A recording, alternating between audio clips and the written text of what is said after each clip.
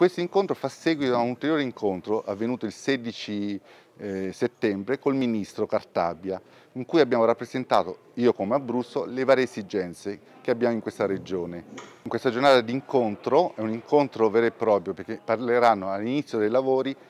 le esperienze di due ristretti che hanno fatto un percorso esemplare e stanno riscattando dei piccoli errori che hanno fatto in gioventù e ce lo racconteranno. Noi abbiamo cercato di coinvolgere più attori possibili della vita civile eh, che sono intervenuti, tant'è vero che eh, il convegno è riconosciuto dall'Ordine dei Avvocati,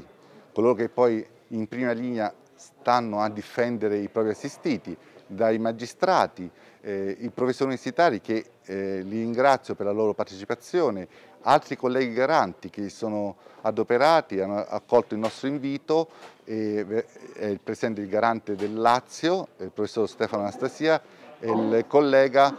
eh, della campagna, il professor Ciambriello. Noi siamo proprio qui a combattere, a difendere i diritti, i diritti dei detenuti.